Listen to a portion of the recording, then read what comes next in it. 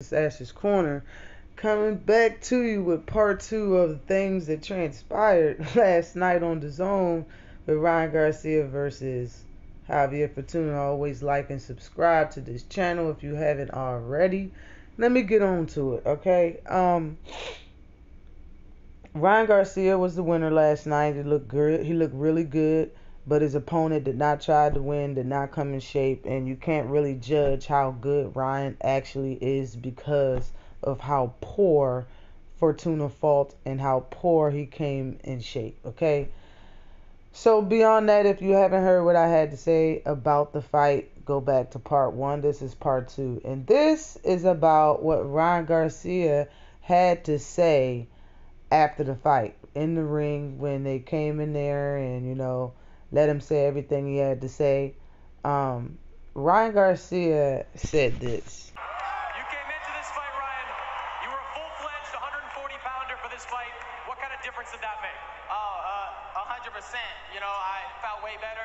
I'm not going back down to 135 for nothing, but I will fight Tank next. If Tank wants that uh, at 140, hey, but hey, hey, I'm gonna record all the negotiations so he, so you guys don't make no headlines saying I'm ducking. If he want it, let's get it.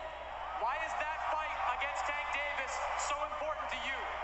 Because that's gonna give me the respect I deserve, and I'm never afraid. I'm trying to tell you that I have a spirit of competition in me, and you're gonna see that come out when I fight Tank and and whoop his ass.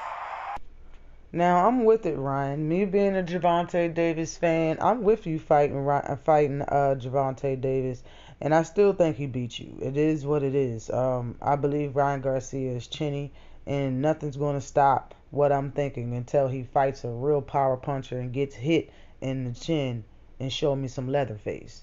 But that hasn't happened yet. So he fought Luke Campbell. Luke Campbell's not a puncher. Luke Campbell dropped him off one punch. Period and point blank.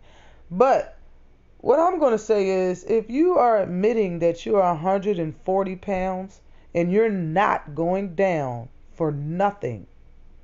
Why are you calling out people that's at 135? You fought two people that's 100 actually to go and and Fortuna can both make 130. They can. With a good training camp and a um, nutritionist, both of them can make 130 pounds. But both of them fought at 135, and you fought both of them at 140. Okay, cool, cool. You fought you fought them. You went the distance with one and stopped the other. You stopped Javier Fortuna. Javier Fortuna was not even in shape to fight at 140 or 130. Hell, he couldn't even make 130. And then he rehydrated what 17 extra pounds. Man, listen. If you want to fight at 140 and say you're not going down for nothing, then you need to fight competition at 140.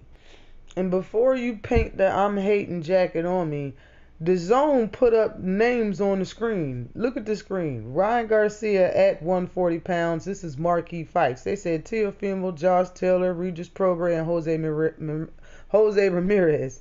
So it's not what I'm thinking is what everybody's thinking. How would he fare at 140 in the fights at 140? Nobody cares about him versus Ryan Garcia more than I mean nobody cares about Tank versus Ryan Garcia more than Ryan Garcia cares about it. Okay, and right after that, they put more names up there and says Ryan Garcia at 140, marketable fights. Okay, Montana Love, San- Sandor Martin, Regis Prograis again, and Brandon Lee. Okay, so if I'm hating, so is DAZN. So is everybody that put this together. And Ron Garcia loves DAZN. So you Ron Garcia fans, watch what you say. Okay, if the man fights at 140, being that you didn't touch nobody at 140 yet, there's a lot of fights. But how about this guy? What about this guy right here? What about Gary Russell? Gary Antoine Russell. What about him? He fights at 140 pounds. He's ranked. What about Gary Russell? what about Antoine Russell, man? Y'all want to fight? Y'all want to see that? Him versus Ryan Garcia? Y'all want to see him versus uh, uh, Subriel Matias? Look at the screen. Y'all don't want to see Ryan versus Matias? Yo, if you don't really know how stacked 140 is, this is a video that I put out four months ago. It says fighters at junior welterweight, which is 140 pounds, you should know. Okay, it's this list is 17 people long. Okay, the list is fire. They're all undefeated fighters, or they only have one loss. Those are the people that Ryan Garcia should be calling out. One of those guys. Okay, those are the people. But let's not forget this guy right here, Devin Haney. Let's not forget the guy that Ryan Garcia ducked first. All right, there's in the amateurs. They fought a bunch of times. You know what I'm saying? It goes back and forth for who won the most fights and all of that shit. We've seen some footage and all that. What about Devin Haney? He's an undisputed champion. Why don't you want to fight him at 140? Everybody named Mama know that the man got two more fights on his contract and he's moving up to 140. So what's up?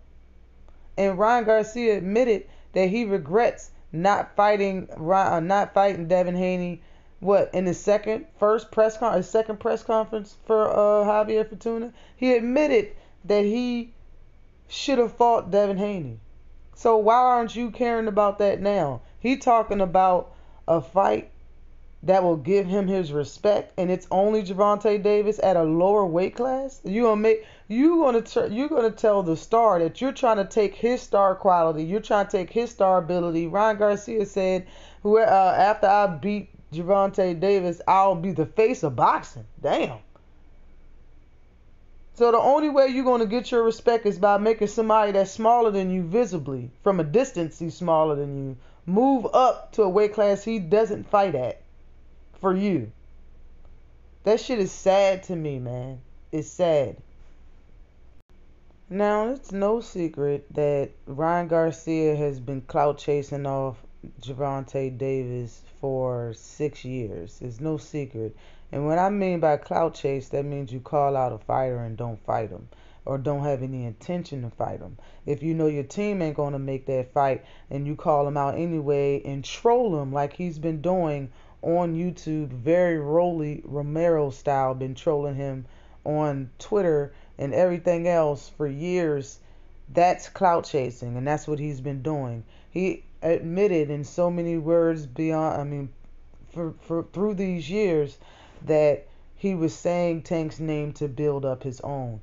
That is clout chasing because you knew that fight wasn't going to be near time to make, period six years ago, five years ago, four years ago, three years ago. But it did not stop you from making skits on Twitter and just straight being a troll. He called Gervonta Davis a bully for years, but Gervonta Davis never trolled him once. Okay, that was all his doing. Now he stands there with rapper chains on and a bunch of tattoos with this proper speaking and he's he's got y'all food, but not me. Listen, listen. There's nothing honorable in saying that you're the best, you're the fastest, and sticking out your chest, but only want to fight somebody that's in a lower weight class. If you want to get the, the respect you deserve, those are Ryan words, not mine, then you need to make weight at 135 and fight Gervonta Davis. Period and point blank. Always like and subscribe to the channel.